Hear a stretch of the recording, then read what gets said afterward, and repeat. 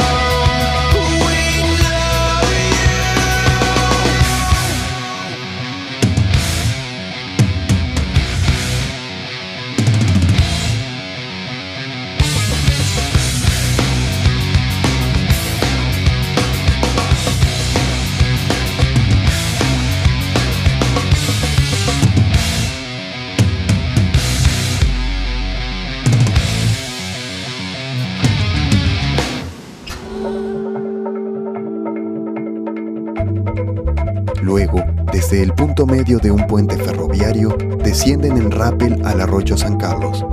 En este deberán nadar para marcar sus pasaportes.